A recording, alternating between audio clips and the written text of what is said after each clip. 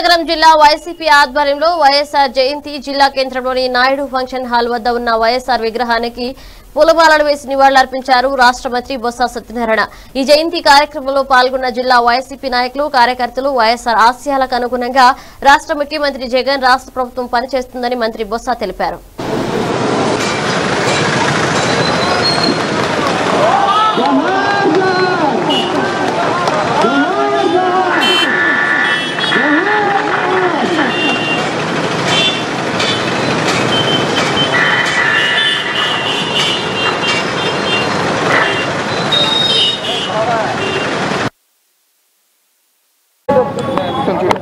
ఒక మరవలేని ఒక మహామనిషి.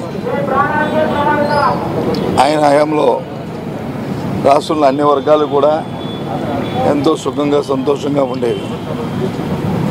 ఒక కార్మికుడు కాదు ఒక కరక్షకుడు కాదు ఒక యువత కాదు ఒక మహిళ కాదు అక్క కాదు. అందరూ కూడా అన్ని వర్గాలు కూడా ఎంతో ఆనందంగా ఉండేవి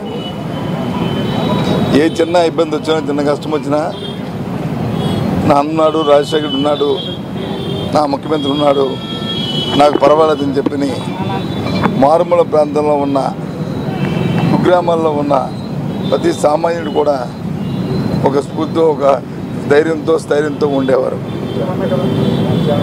అటువంటి మహానేత మన దగ్గర లేకపోవడం అయినప్పుడు కూడా ఆయన స్మృతులు ఆయన తాలూకు ఆశయాలు ఇవాళ ఆయన తనయుడు జగన్మోహన్ రెడ్డి గారి నేతృత్వంలో తండ్రికి తగ్గ తనయుడిగా మరి ఆయన తాలూకు ఆశయాలన్నింటినీ కూడా ముఖ్యంగా రైతులన్నా రైతు కూలీలన్నా పేద ప్రజలకు ఇచ్చిన మాట ప్రతి మాటని కూడా నెరవేర్చుకుంటూ ఇవాళ దేశంలోనే ఈ రాష్ట్రం ఎన్నికలప్పుడు ఇచ్చిన మాటను నెరవేర్చుకున్న నూటికి తొంభై ఐదు శాతాన్ని మొదటి సంవత్సరంలో నెరవేర్చుకున్న ఘనతని ఇవాళ మూట కట్టుకున్నారు ఇవాళ